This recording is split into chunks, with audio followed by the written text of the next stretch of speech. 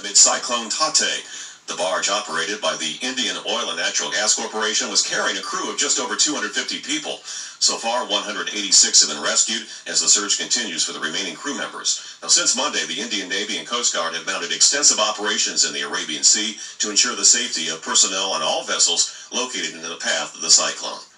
I'm Chris Collins of the 1290 and 95.7 WHIO Radio Newsroom. Chris, thank you. Now let's take a look at the latest numbers from Wall Street this noon hour. Not doing well at all. Down more than 334 points at 33,725. And at last check, the price of crude oil is down $3.08 to 62.41 a barrel. Those numbers are down. These numbers are up. We are warm near 80 degrees. Just checking Trotwood is at 80 degrees right now. Uh, but we've also got the clouds that are moving in. So far, we're on the uh, westerly side or the dirty side of this area of high pressure. And what that means is high pressure, we got the winds that spin clockwise. And so with the high pressure being here, the winds are coming in out of the south. And so here in the middle part of the country, down towards uh, Lake Charles, Louisiana, coast of Louisiana, getting flooding. Uh, but we got all the moisture and the cloud cover there.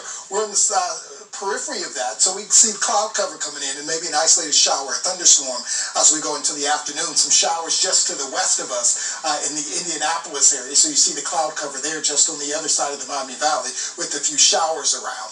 Already we're seeing the partly cloudy skies with some of the clouds starting to congeal. Just looked outside the weather window here in downtown Dayton. It's already mostly cloudy sky with mostly cloudy skies with the cumulus congestus clouds out there. 79 degrees here in Dayton, but 81 up in the Vandalia, uh, 77 in New Lebanon, Troy coming in at uh, 77.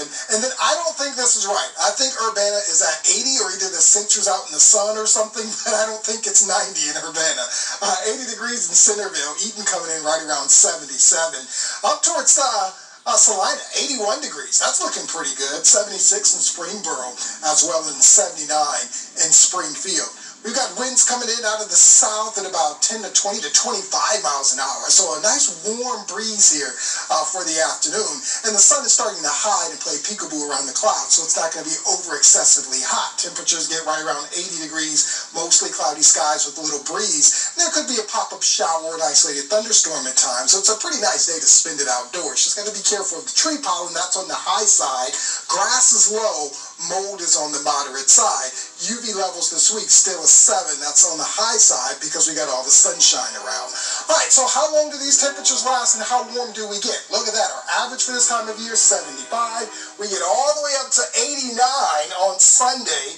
Flirt with 90 degrees. Don't know if we actually get it or not, but we'll flirt with it even in the 80s to the early part of next week, and then we'll fall back into the upper 70s by late next week and into the weekend, which by that time will be average for this time of year. So predominantly cloudy skies. This signifies this afternoon a pop-up shower or an isolated thunderstorm, not a washout. Once the sun goes down, we lose the instability, and we're partly cloudy into the overnight hours. Tomorrow, again, an isolated shower, pop-up thunderstorm, probably less so than today, and then we get the same uh, situation as we get into Friday. Although Friday, I think, will probably be a little drier uh, for the afternoon, so partly to mostly sunny. So 80 degrees this afternoon, partly cloudy, isolated pop-up shower. Humidity is going to stay low over the next couple of days, so it's not going to be overarchingly muggy. 61 overnight tonight, nice and warm but quiet. Look at that five-day forecast. Probably our best chances today and Sunday of seeing showers and thunderstorms. Overnight lows are going to be the 60s. This is a nice summer-like pattern, and I enjoy it, Letitia. Love it, love it. Thank you.